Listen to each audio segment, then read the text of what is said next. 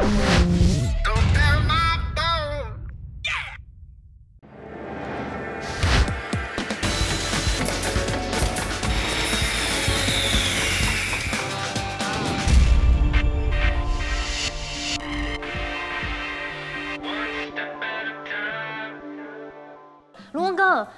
经过这样装修，变了一个风貌哎。对呀，老房子先解决它的旧有的问题，再做室内的装潢。而且很多的老房子啊，它的供水管路都往地面下走，这一间可不一样。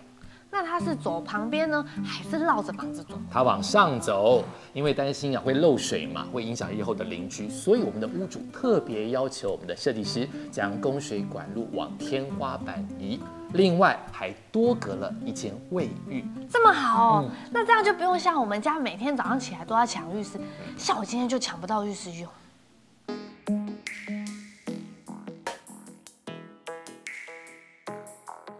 现在我们所在这个区域呢，就是玄关之后的多功能休憩区。对，这个地方其实就是我们屋主他平常吃早餐啊、看报纸的一个空间。对对对对。吃早餐看报纸不能在餐厅的餐桌，为什么要特别在这一区嘞？嗯，那边是家人一起用餐的空间。那这边的话，因为我们屋主他是个老爷爷，屋主是个老爷爷，对，几岁的老爷爷？爸爸的话大概是九十几岁。等等等等等，所以你刚才说的爸妈小孩，不是我们想象中的四十岁、三十岁跟五岁，而是九十岁、八十岁跟六十岁的爸妈小孩。是啊，所以你这样讲就有道理啦。爷爷级的爸爸喜欢在这样子一个餐桌看报纸，对啊，吃吃早餐。我觉得这个桌子不止可以吃早餐，它的大小还蛮适合做。一种休闲，有氧运动的感觉是不是？对，是，就是特别做的，就是定制一样的大小。所以是爷爷的喜欢。嗯，是奶奶。奶奶。对，就是我们刚才所说的妈妈。对。哦，而这项休闲的娱乐啊，也跟中国风、跟这边的味道其实蛮搭的。对啊，所以在这个空间，我们特特地帮屋主就是选了这样子比较复古一个复古的湛蓝色。湛蓝的颜色其实是蛮罕见的。对，嗯嗯，它还本身还有一些就是嗯刷纹的纹理，是对。放艺术品的话，它其实是一个端景。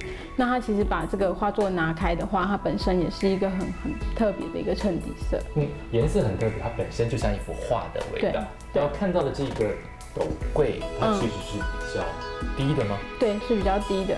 这个部分也是我们这一次特别帮屋主设计的一个家具。这个柜子是你特地设计的？对。哦。我们一般看到的斗柜高度都大概比这个再高个二三十公分。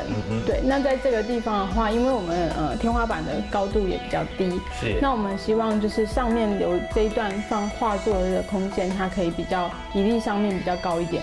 那再加上说我们在这边使用桌子的话。对这个高度，它会比较适中。确实啊，如果在这边看报啊，或者是做有氧运动的时候，拿取东西会比较方便。比较方便。在帮屋主挑选一些艺术品的时候，其实我们会考虑到的第一个是，可能艺术品本身它有没有一些故事性，可以跟这个空间做结合。对，那另外的话，可能就是说它的材质跟色调上面，呃，它的颜色啊，是不是可以跟我们的整体空间，可能是比较跳脱，可能是融合。这个其实是比较不一定的。那再来一个就是你摆放空间的比例，怎么样的墙面它应该摆放怎样子比例的幅宽的一个画作，或者是说雕塑品啊等等。我们开始说到玄关，我们从正面看来，对，如果你去特别搭建那个玄关，薄薄的一片，在这个空间显得突兀。可是现在你两边都有它的作用在。对，如果说我们在一个空间里面去界定一个，嗯，就是我们把玄关放在这边的时候，那我们看到一个单薄的柜体。对，那其实我们这样子做的时候，让它两边都有收纳，那侧边看起来比较像个隔间墙，而不是一个单纯的柜体。是，对，不仅不会突兀，也让这个空间三方都区隔了出来。对，说到这个三方的空间区隔，我们看到这一个吃早餐的地方，往前是我们的餐厅跟厨房的位置，而且啊，像在这个开放式的厨房，其实是更需要跟家人互动，因为它是三个方向。包括厨房里面，还有餐厅，还有这一个多功能的休息区。对啊，这个地方其实是一个中心点。嗯，那我们的客厅、餐厅、厨房都围绕着这边。那这里的话，还有一些比较特别的空间。是，对，像是我们后面这一道隐藏隐藏门来讲，它这个地方打开的话。是一个客房的空间，好像一个小客厅哦，是这个客房的空间。对，一个客房的空间，一个起居室的感觉。是。像这个地方还有一个就是客浴的部分。哦，客浴看一下。对啊，明亮的客浴。对啊，这边本来是没有这间浴室的哦。啊，这个家没有卫浴设备哦。嗯，没有在公共空间有卫浴设备，全部都在卧室的地方。所以这个地方是你无中生有创造出来的。对。可是，一般不是想说要创造一个卫浴或是移动它的位置，我们都会担心。水呀、电啊、管的问题的，其实一般人都把这个想得很难，嗯，但是其实只要你在施工上面把一些细节注意好的话，其实就没有这么的复杂，嗯，对。那像这个地方，其实它本身本来就有一个管道间在这里，是对。那我们在现场勘察的时候，会发现说这边有一个管道间，可是却没有被使用，哦，对。但是这样子的话，我们在这个地方都是公共空间，那我们就觉得说，哎，可以利用它来作为这个这个地方的客浴。厨房阴暗狭小，也是许多老屋的病症。设计师拆解了原本的隔间，整合了厨房和餐厅的空间，让厨房变得更为明亮而开阔。每当屋主家人从国外回来时，这个地方就成了彼此联络情感的好地方。而老屋常见的老旧水电管线，除了依屋主需求重新评估用电承载量、全市更新外，黄林芳也重新将管路位置移至天花板上，方便日后维修。向外推了十公分，加大了走廊的宽度。无障碍走道的设计，体贴年长者行走或旅居国外家人回来时拉行李的方便。走廊的照明也使用了感应式的灯具，既节能也兼顾到居家的安全。屋主他们有很多的家人啊，其实都会回来这边居住，所以其实，在设计的时候，我们就要考量到他们每一个家人，他有他的需求，对，跟他们就是，呃，去为他们的生活习惯，就是去想的一些比较细节的部分，他都会跟我们做讨论。那这中间比较那个复杂一点，就是说他们大家都在国外，那回来的时间比较不一定。对，所以我们等于就是花了很长的时间，这个设计期大概有一年左右，其实就是在等待他们回来的时候，跟每一个人就是去讨论，那尽量让这个空间可以符合大家的期待。还有一些就是因为他们是比较年长的成员居住，所以我们在无障碍的设施上面，还有一些就是环保啊、绿能的一些应用上面，就在这个部分跟他们沟通上也下了蛮多的功夫。老旧门窗的更换也是整治老房子经常会遇到的问题。设计师选择双层窗，全室更新，除了兼具隔热、环保与隔音的双重机能，也实现了绿设计改造老屋的理念。次卧利用床头与书桌的结合，不但在有限的空间里达到最大的使用率，精算过的高度刚刚好，让屋主坐在书桌前的视线是整齐一致的。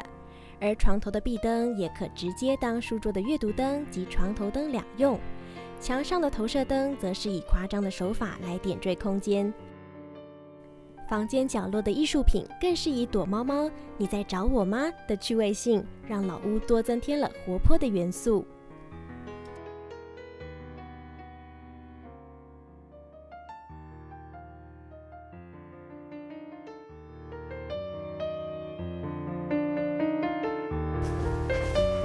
边是主卧室，主卧的区域包括了很大的书桌、对床、更衣室、更衣室，还有浴室、卫浴设备。